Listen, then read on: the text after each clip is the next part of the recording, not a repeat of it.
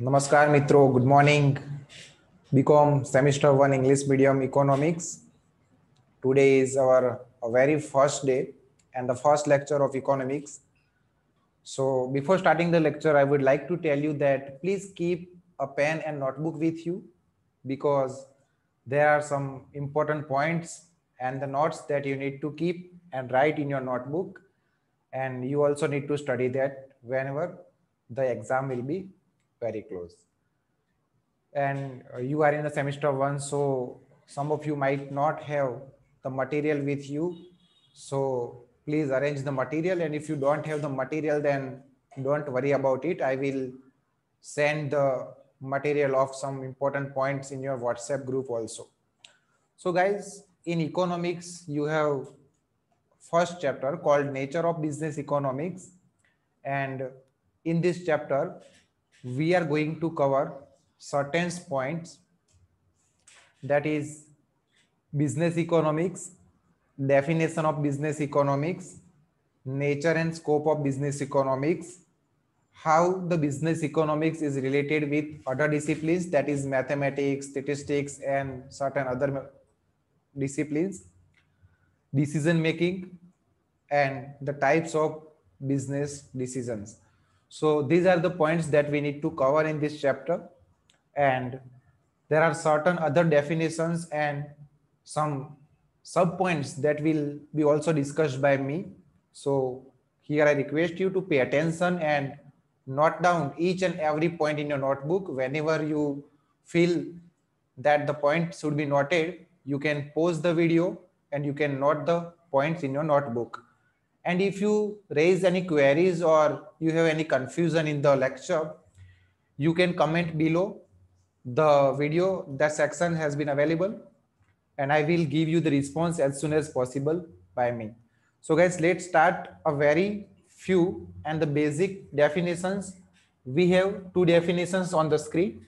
That is what is business and what is economics. So guys, as we already have discussed that the chapter is about business economics. And as you have taken the commerce you need to study business economics. And under that first of all we need to understand these basic two terms that what is business and what is economics. So let's read the definition that we have in the screen about the business. That is business is an economic activity carried out in in any sector with the intention of getting something in return. Guys in this definition we need to focus on two basic term that is business is an economic activity as well as we have some intention to getting something in return. What does that mean? First of all, it is an economic activity. Economic activity means whatever the activity we are doing, if we are giving a service to someone or we are selling a goods to someone else, we are expecting something in return. Suppose if a shopkeeper is selling a product to some customer and he is expecting that price of product in return that money that we need to give the shopkeeper for getting a product from him. So this is what a economic activity. At all the business who are exchange who are who is doing an exchange business it means if we are giving something with the expectation of getting something is called a business. Now we have other definition on the screen is what is economics so guys, you are very well aware with these words. You also have studied economics in your 11th and 12th commerce. So let's read the definition. What does it mean? So here we have definitions that Robbins wrote that economics is a study of human behavior as well, sorry, as a relationship between ends, scarce means and have alternative uses. So what are the human behaviors about their wants? So here in the definition, we have three basic things that we need to focus on. First one is ends. What does it mean? End means the wants, the things that we wanted to satisfy in ourselves. Suppose I have I have a need of food, I have a need of clothes, I have a need of many other things. So all these are considered as a want, a human want. But to satisfy them what? We have a limited resources scarce means means means the resources that we use to satisfy our needs so guys here what does it mean human have an unlimited wants if I have a want, I want to have a bicycle. When I satisfy my needs to have a bicycle, I will increase my needs to have a motorcycle. And once I will satisfy with my needs, once I buy my motorcycles, I will occur with a new wants that I want to have a car. So guys, the needs that human have is unlimited, but to satisfy that needs, we have a very limited resources and that resources have alternative use. For example, I have 5 lakh rupees. So if I want to satisfy my needs you know, 5 lakh rupees, either I can buy a car or I can buy or I, I can go for an installment of a house. So guys, if you have a money, money is a limited resources and you cannot use it unlimitedly. So this is how the Robin says that economic is a study of human behavior as a relationship between guys focus on the term relationship between ends ends means the want of the customers wants of the people and scarce means which have alternative uses so let's further we will see robbins has traced three important facts in the definition. The three important facts that we already have discussed. The first one is human wants. That is ends as we have seen in the definition are unlimited. Each and every person has unlimited wants. So it is always ongoing process. We can say once the basic needs that we are having is satisfied we will accord with some new wants.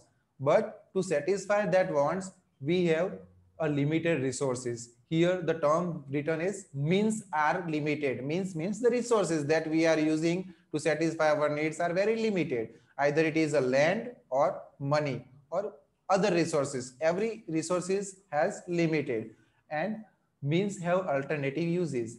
Means whether it is a money or a land, they are they have alternative uses. If I have a land and I want to Uh, grow the wheat in it, but at the same time I cannot use that land to grow a rice in it. So each and every resources have alternative uses. If I have rupees 10 and I buy a biscuit of it so at the same time with the same money i cannot buy anything else with the same money because i have only 10 rupees so i can use it for any one want any one product so the means that are having a limit sorry alternative uses so what the robbins wants to focus on that that we have a limited resources and the limited resources have the alternative uses so in this we need to understand that what needs are to be satisfied first. We need to give a priority and we need to use the resources according to the priority we have given to our wants. First of all, we need to decide that which wants are really very important to satisfy first. And to satisfy those needs, we need to use the resources accordingly. Because if the wants which are not very necessary to satisfy and we use the limited resources to satisfy the needs that are not really necessary to satisfy then we have misused the resources we are having so guys here in the these in these three points we will occur with the point decision making and this is how the economics and the theory of economics are used in the decision making process when it is carried to the business in the on the screen we have uh, the written Robbins defines economics as a science. Robbins also defines economic as a science. How can we say that? So here we have written the explanation and the definition in the on the screen that because like any other science, once again, because like any other science, it adopts scientific method of observation. Again, guys, focus on the terms. Other science, it adopts scientific methods of observation, analysis and investigation and it finally lays down theories establishing cause effect relationship between economic phenomena first of all we need to observe analysis and analyze and investigate observe about the wants that what humans having or what the humans wants are and we need to analyze those wants that which wants are really very basic and which wants really need to be fulfilled and we need to investigate the resources to satisfy those wants. So in these three process, observation, analysis, and investigation of the scientific methods, it finally lays down the theories which establishing cause effect relationship between economic phenomena. And this is why the robbins defines economic as a science. Now we will move further. And the very important point of your chapter is the business economics. So guys you need to write down these definitions and the points i have written on the screen. Definition of business economics. Now what is it? So let's read business economics is the integration of economic theory. Guys focus on the word integration. Integration means the combination of two or more things that is called integration. So business economics is the integration of economic theory with business practices for the purpose of business practices for the purpose of facilitating decision making and forward planning by the management. Guys as we already have discussed that human wants are unlimited, but the resources we are having is very limited. So when we use those theory in the business, a manager need to decide that whatever the resources we are having, whatever the resources a manager has, whatever the resources a business has, that need to need to be used for the wants that are really very important important to fulfilled. So how the optimum utilization of resources can be done? How the optimum utilization of resources can be done. Whatever the resources business has, whatever the resources business has, how a manager can use it optimum. How a manager can use it optimum because any business has a very limited form of resources. When the resources are in a limited form, we need to use it very optimally. So guys, it carried us to the decision making and whenever the business economics, we say the term business economics, so we can clearly understand that whatever the theories of economics are having are used in the business to utilize the resources in a proper manner. Now we have the second point on the screen is the purpose of business economics is to show how economic analysis can be used in formulating business policies. So guys, in the economics, we already have discussed that each and every human have unlimited wants and we have a very limited resources to fulfill those needs. So we can use those theories in a business policies because in the economic theory, we already have discussed that we are having a limited resources. So we need to use the resources very optimally. We need to, we, everyone wants to fulfill their wants and to fulfill their wants, we are having a limited form of resources so that we need to use the resources very optimally. And when a business follow the, follow these theories, when a business starting uses the resources very optimally, they will get a more profit. So businesses are using the theories of economics to formulating business policies. Now we have the another point on the screen is business economics is concerned with decision making process. So we already have discussed that how the business economics is concerned with decision making process. So guys, the resources we are having has multiple uses. If we are having a money, it has multiple uses. We can buy whatever the things we want to buy by using the money. But what we will buy? We will buy the things that are really necessary and needed to be fulfilled by us. So we will use the money for the things which are really very important for us to fulfill. So this is this is what? The optimum use of the resources that we are having. So a manager needs to decide that whatever the resources, whether it is a machine, whether it is a land, whether it is a man, whether it is a money, whatever the resources a business person or the manager having, he need to use it very optimally and the resources have resources are having the multiple uses. So he need to decide that for what purposes he will use the resources that he is having. And the next point we have written in the screen that it provides a link between traditional economics and managerial decision making. In the traditional uh, in the traditional economics, we know that the it, it, it is a study of human wants and the resources that are having for the satisfy human needs and also the alternative uses of resources but it is a link between managerial decision making when a business person or a manager have the resources resources have multiple uses the manager is will uh, will have with a choice that for what purposes or for what uh, needs he will use that resources to satisfy the needs and he will get the more profit. Now on the next screen we will we are having the characteristics of business economics. So guys i request you to write down the points of the characteristics of business economics in the characteristics we are having some points under this point the first point of these uh, characteristics of business economic is it is a branch of economics. So when we talk about economics as a whole, business economics is a, one branch is a type of economics. We can say general economics. So business economics is just a branch, just a part of the whole economics or we can say general economics. Now we have the second point as a characteristic is micro in nature. So guys, let me tell you that economics have two different section. It is divided into two classified classification. The first one is microeconomics and the other one is macroeconomics. If we talk about microeconomics, then it is a study of an individual or a single firm.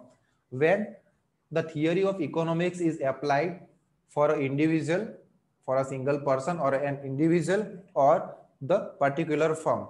But if the theory of economics is applied in a whole, for example, for a country or the economic of company, bank company, banking systems, inflations, deflations, GDP are the studies that are considered under the macroeconomics. So whenever we are talking about business economics, it is a micro in nature because a business economics only specify and the focus is on a particular company or a particular firm who is doing the business. Now, the third point we are having in a characteristics is takes help of macroeconomics. So each and every business had to rely on the total GDP of the country, the total growth rate, national income, per capita income, inflation are the points that are considered under the macroeconomics, but based on that, every business needs to decide the policies of business. So each and every business are rely on the macroeconomics. So we can say that business economics takes help of macroeconomics. Now the next point we are having in the characteristics is a theory of firm. Business economics is a theory of firm because it focuses on a particular firm or a particular company. Now, the company is having resources to produce something to satisfy the needs of the customers. Whatever the resources the company or the firm having, he need to use it optimally to get a maximum profit. So the manager of the company need to decide that how he can use or the optim use or the optimize the uses of the resources. So this is how we can say the business economics is a theory of a firm because it is not in not specific specified in a general form. It is only limited to a single firm or a single company. Now the business economics is a normative in a science because how can we say that we already know that the resources that we are having have multiple or we can say alternative uses. We already have discussed that if we are having a money, a limited amount of money, we cannot fulfill all our wants with, with those money. We need to select some of the needs. Those are very important for us to be fulfilled. We can only select those needs and we, we will use the, mon the money that we are having to fulfill those needs. But we can also we can also use the same money for different things. So the money as a resource have multiple uses. We can say alternative uses and not only money, but if we are having a land, we also land also has alternative uses. If we grow a wheat in a land, we cannot grow uh, rice in the same land at the same time. So we need to decide that what should I grow in this land, either a wheat or a rice. So this is how we can use the resources for a proper need that need to be satisfied. In the same way, how can we say a business economics as a normative science? Because a manager of the company have the options in, in his hand that the resources they are having, how he will use those resources and for what purposes. In uh, for uh, sorry guys, for this we can say economics as a normative science. Now the next point we have on the screen is a mix of theory and practices. Business economics as a theory, we can use as a theory because by theory we will get the knowledge that how the human wants created, how the resources can be classified, how can we use the resources as an alternative uses, but it also focuses on the practices because business economics sometimes occupy the techniques which is quantitative techniques and in this way it adopts some theories and the practices together. And the last point of the characteristics of business economics is helpful to managers by using the theory of business economics manager get to know that the needs of the company or the needs of the human that really needs or required to be fulfilled. And manager have the alternative uses uh, resources. With the alternative uses the manager need to decide that for what purposes for what product and for what services he need to use these resources. If a company has a money or a land or a machine or a man as a resources manager will have the options that for what purposes or which thing are really need to produce to fulfill the needs of the company or the wants that are having in the market or the demand of a product having in the market. So manager will choose a particular form of a product or manager will choose the way of using resources optimally. So this is how the eco business economics will helpful to the managers because it gives the option to the managers. It gives the way and the theory by which a manager can utilize the resources properly and manager can give the priority for the required needs of the customers. And the next screen, we are having the scope of business economics. So in the scope of business economics, first of all, guys, I request you to write down the points and the uh, title, the scope of business economics under the scope of business economics, we are having some important points. The first one is resource allocations. So guys, I, I, as I already have told you that what are the resource allocations? Whatever the resources we are having, we need to allocate them properly. We need to allocate the resources according to the according to the needs of humans in a market guys human wants are really unlimited and those can be fulfilled by the optimum uses of resources so resources should be classified or we can say uh, allocate in the proper way so that mo most of the basic and primary needs will uh, can be satisfied by using the business economics now the second term second point in the scope of business economics is demand analysis and demand forecasting now, what is demand analysis and demand forecasting? So demand analysis is an analysis of the demand or the wants of human or the customers are having in the market. Which product or the services are really wanted or the needed by the people in the market and the demand forecasting. Demand forecasting is uh, has the relationship with future because by using the theory of business economics or we can say the economics a manager can get a forecasting of the demand that what the demand will be in future in the market of a particular product third one is cost analysis as i already have told you that each and every resources have multiple uses. So whatever the resources you are using, it will have some cost. And in a business economics, each and every business, each and every firm, each and every company always try their level best to minimize the cost of the product they are producing. So whenever the cost of the product they are producing will be decreases, the margin of profit will be increases. Suppose I produce a product, suppose I produce a pen worth rupees 5 and I occur the cost of that pen will 3 rupees.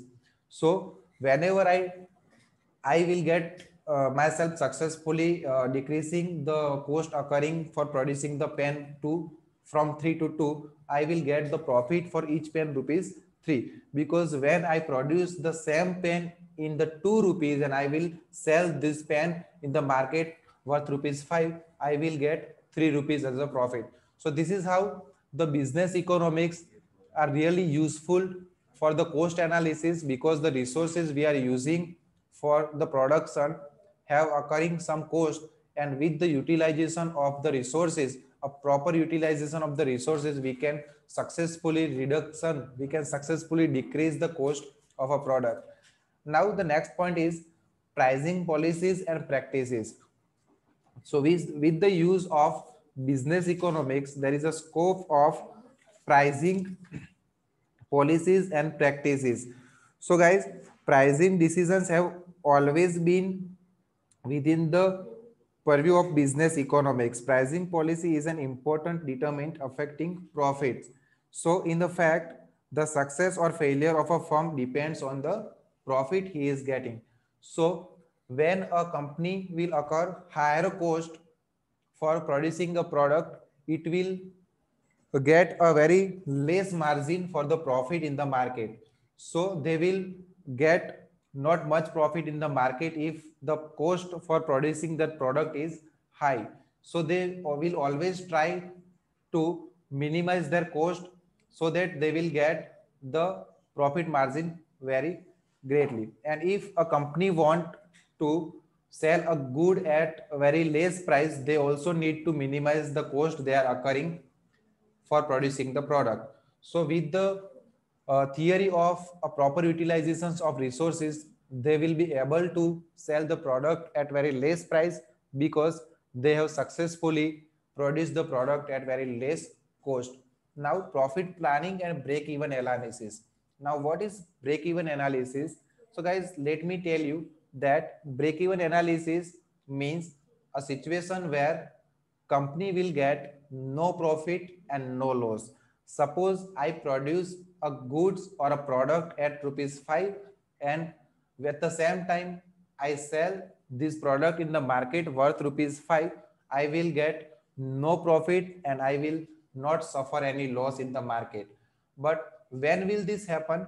This will happen only when the market price of a product is, is similar to the cost we are occurring by producing our product. If I occur a cost worth rupees 5 for producing a pen and also the price of that pen in the market is also 5 so i need to sell this pen at the at rupees 5 in the market and at the same time i also have the cost of rupees 5 for producing this pen. So i will not get any profit in return. But with the uses of economic theories with the uses of optimum optimum utilization of resources i will reduce the cost I will occurring by producing that pen. And when I successfully reduce the price, sorry, the cost of the production of the pen from 5 to 3 rupees, I will get 2 rupees for each pen in the market. So this is how we can plan our profit and we can get through the break even analysis from the cost and effect theory. Now, the next point we are having in the screen is capital budgeting and investment decisions. So guys, we need to do two basic things. First of all, investment decision. What is investment decisions? Each and every person wants to invest their money somewhere where he can get maximum return. So we have a money that we want to invest and we have number of resources we have number of sources where we can invest our money. But we will decide from where i can get the maximum return and maximum profit or where i will get the safer source where i can invest my money. So among number of options i will get the one option i will choose or prefer the one option that is quite safer and give me the highest return and in which uh, source I will invest my all money.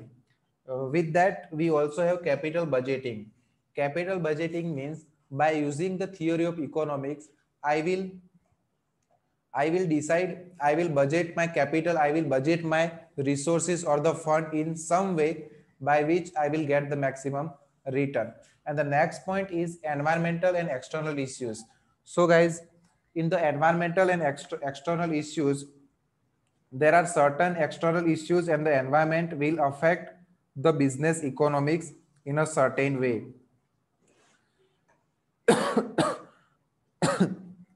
How can we say that? So, nature of economic system in a country. When a country has the higher rate of inflations, when the inflations will increase or company will uh, company is suffering from a recession or will not have a good economic situation. Suppose in this corona pandemic our economic situation are quite critical in the country. So in this kind of situations in this kind of environmental conditions a company has to suffer some losses or might have some less demand or may, may get the higher cost for producing the product. So this is how we have discussed the definition of business economics characteristics of business economics and scope of business economics. I request you guys note down all these points and definitions and the conditions and the explanation we already have and discussed in the screen. And this is all for the lectures today. We will come with the next part of this lecture very soon. I will send you the schedule of your economic lecture in the WhatsApp group. So stay tuned and please subscribe the channel so that you will get regular update for the lectures you are having. You will get notification for each and every lecture I will upload on my channel. And whenever you are having any doubts or query, you can call me on my number or you can comment under the section comment section below the video. Thank you guys.